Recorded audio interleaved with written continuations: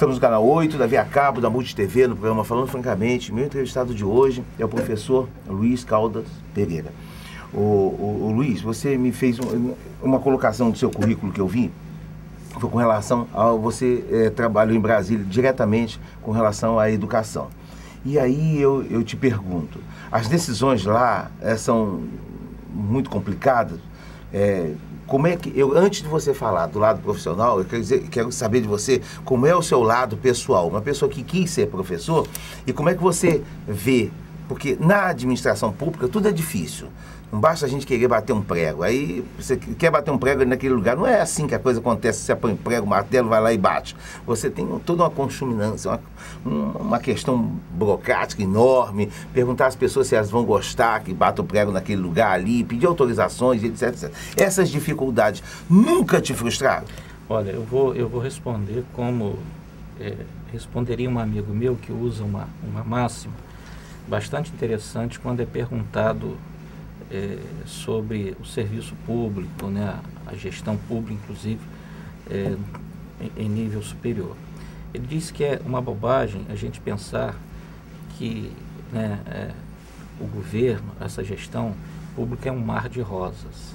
Lógico que não é um mar de rosas, né, a luta é muito grande, os embates internos também acontecem e, evidentemente, é, o que nos move, e sei que move grande parte daqueles, sobretudo o servidor público, é exatamente a convicção de que é, por ali e a partir dali é possível se construir é, alternativas necessárias, fundamentais para a população, para a sociedade, no meu caso, para o trabalhador, para o jovem, para o adulto, falando especificamente da educação e da educação profissional. Então é assim, não é um mar de rosas, é uma luta é, muitas vezes a distância, a gente imagina que é, uma dificuldade ela é fruto é, de uma posição simples, sumária, e não é exatamente, né? sobretudo num país com o tamanho do nosso, com as dificuldades que a gente tem, né? com, no caso das, das políticas públicas, com um déficit enorme é, em todos os níveis, em todos os campos. Então não é uma,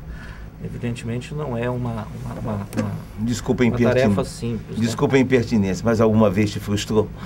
Deu vontade assim de, de, de chutar o pau da barraca, vamos dizer assim? É, é, é, eu acho que tem dias. Que né? dá isso, dá vontade, né? você, né? Seja assim, você oscila um pouco né, para baixo, vamos dizer assim, né? Para menos. Certeza.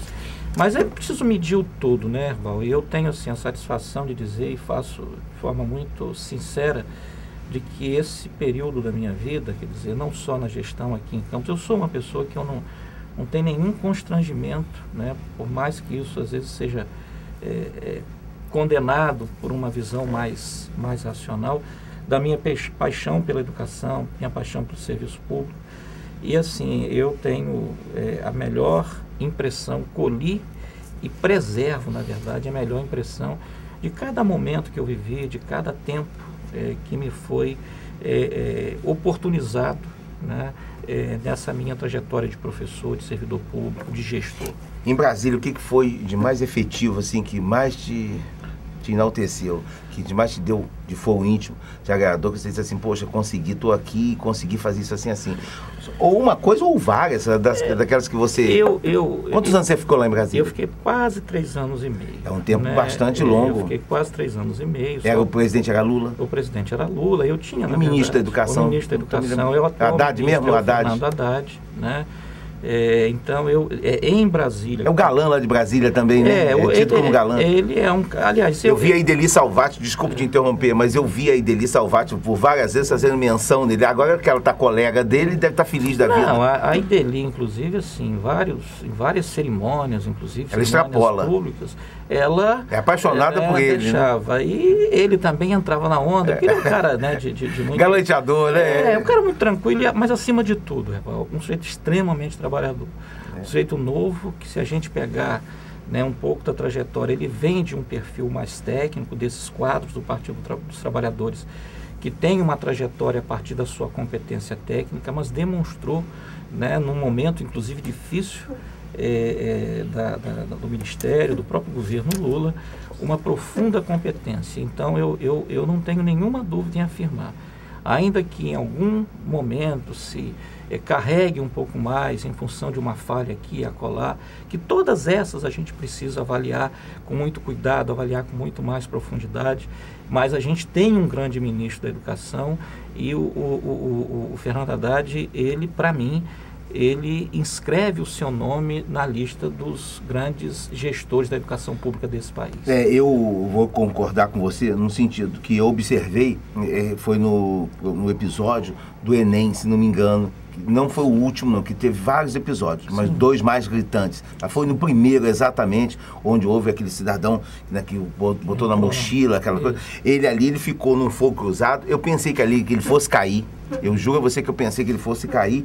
E ele foi muito firme, né? Nas decisões, na postura, veio a público, assumiu quando precisou assumir a, as falhas, os erros. Ele conduziu aquilo, eu me lembro muito bem. Às 5 horas da manhã, meu telefone tocou. Você estava lá nessa eu época? Eu estava lá, meu telefone tocou. E aquilo foi uma, né, uma notícia bombástica para aquele para aquele momento e houve, evidentemente, toda uma mobilização, mas é preciso, e você o faz com muita, né, acho que muita precisão, é dizer da condução e da forma como ele se colocou nesse processo. É bem do caráter dele, né, repito, não é que nada que possa sugerir ou fazer com que alguns pensem que é uma, uma média, uma gentileza de minha parte, mas ao contrário, é um olhar né, de quem conviveu. É, e eu tive a oportunidade de conviver com ele também um pouco mais de longe, quando eu fui gestor. E a minha opinião, depois da convivência em Brasília, ela consolida o que eu sempre achei. Nós temos realmente um grande gestor na educação desse país. Aproveitando o gancho, o, o Luiz, eu queria falar de um assunto que é bastante complicado, bastante controverso. Como toda mudança, o, o final do vestibular e a entrada do Enem no lugar do vestibular.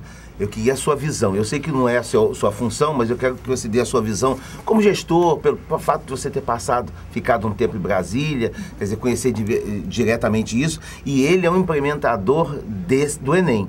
Ele é um, obstina, um obstinado no sentido de manter o Enem. Porque tem, tem algumas correntes que são contra. Eu não sei nem precisar você quais, mas você deve saber. Então, contra. Eu queria a sua posição pessoal e a sua defesa. Deixa eu só fazer é, apenas um comentário em relação à sua pergunta anterior né, do que, que me deu mais satisfação. Eu ah, tenho, sim, nós esquecemos. É, eu não tenho a menor dúvida né, de que o governo Lula e aí a gestão, é, a partir do ministro Fernando Haddad, é uma das mais importantes do ponto de vista dos investimentos, do ponto de vista das ações.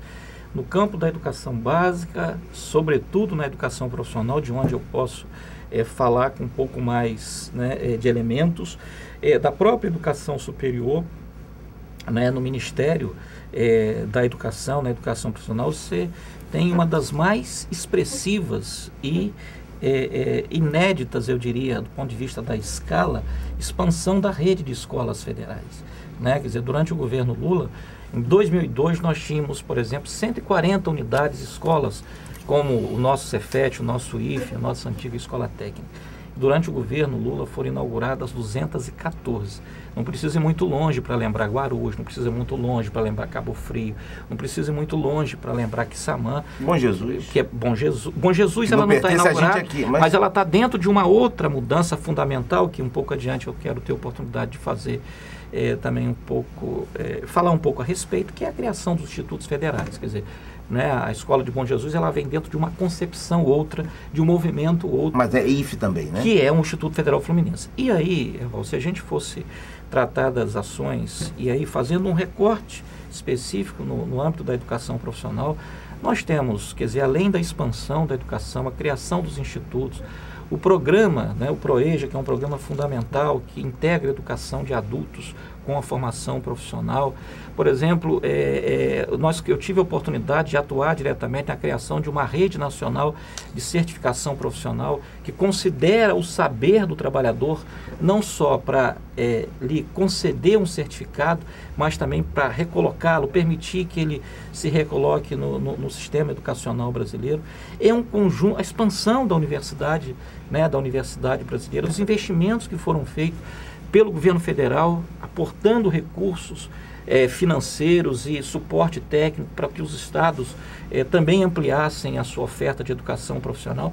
Enfim, é um leque é, bastante é, é, é, incomum, eu diria, para um tempo de governo, em se tratando das ações da educação profissional. E aí eu entro na questão do Enem, que você coloca, que evidente eu, eu, eu não, não, não sou um talvez uma pessoa com tamanho, mas eu defendo enquanto princípio, defendo enquanto concepção.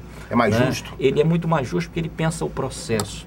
Né? Ele é muito mais justo porque ele pensa tudo. Eu também ele concordo pensa, com você. Ele, ele pensa o todo. Agora, é evidente que como todo e qualquer processo é, desse tamanho, dessa envergadura, com um país, né, com a dimensão que temos, com as particularidades que temos, evidentemente que ele não é um processo simples, mas ele é acima de tudo um processo que ele passa a medir o conhecimento a partir de uma outra ótica, que é aquilo que se dá ao longo né, de uma trajetória é, que o estudante tem é, no processo. De, ele faz uma medição mais justa, né? Mais, mais, justa, justa, não é isso? E começa a romper né, com uma, uma, uma ideia é, de que o processo de, né, de, de, de, prosseguimento de estudos do nível básico para a educação superior, ele muitas vezes se faz né, é, com, com, determinados artifícios. Né, e, e, e, o vestibular ele começou a artificializar muito né, aquilo que se deve é, medir enquanto requisito ou pré-requisito para prosseguimento de estudos. Sem contar, sem contar que era o fator do vestibular tinha um fator da loteria, né? Porque Sim, se você mas... fosse um sujeito de sorte e viesse marcar, essa, aquele não fazia uma medição, é, né? Eu, eu, não fazia uma medição é, como um todo, é, como você fez a é, colocação. estatisticamente, eu não sei se, né? isso tenha relevância que possa mudar é, é, o, o, resultado de uma forma significativa, mas influencia. Com certeza, né? com certeza. A gente é, não pode ignorar. Não pode ignorar. Não pode ignorar. E, e, por outro lado, quer dizer, isso faz parte dessa coisa que vai artificializando, vai tratando a questão do conhecimento para uma ótica que não é, eu diria, a mais, talvez a mais é, é justa, né? inclusive do ponto de vista do significado do conhecimento. Vai me dar licença, mas a gente vai para o intervalo. Estamos no canal 8, na Via Cabo, na Monte TV, no programa Falando Francamente. Meu entrevistado de hoje é o Luiz Caldas Pereira, professor do IFE. Voltamos já.